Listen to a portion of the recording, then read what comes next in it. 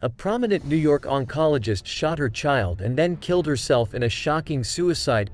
Preliminary investigation revealed that at approximately 7 a.m., Crystal Cascetta entered her child's room and shot her child and then pointed the weapon at herself, New York State Police said in a statement released Saturday.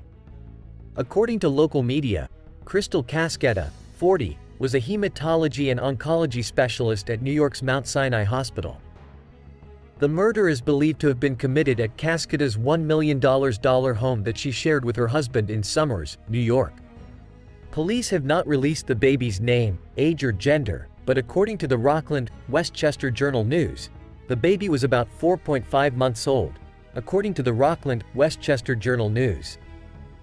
A police source told the publication that the baby is a girl and an only child.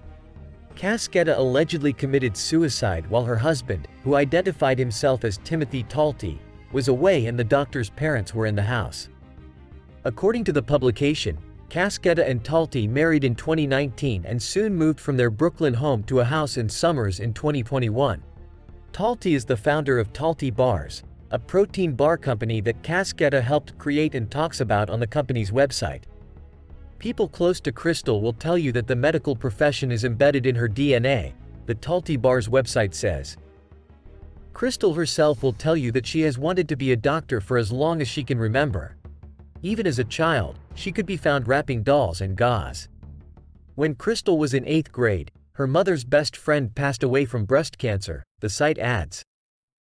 It was this life-changing event that helped Crystal decide that medical oncology would be her specialty.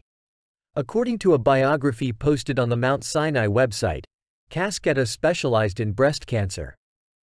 She graduated from Albany Medical College and then completed her residency at Hofstra North Shore LIJ Medical School at North Shore University Hospital, the biography said. New York State Police called Cascetta a renowned oncologist in a press release on the tragedy.